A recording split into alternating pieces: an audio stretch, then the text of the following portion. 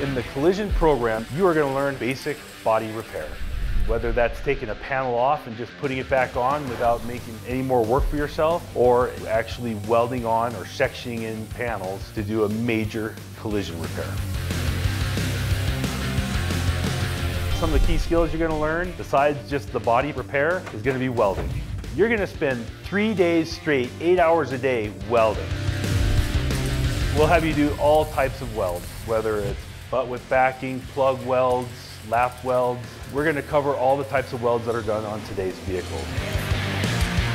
I think the coolest thing about this program is it leads through so many pathways. You can go into a collision shop, to a restoration shop. You can go into a full customization shop with the skills we're teaching you in the collision refinishing program.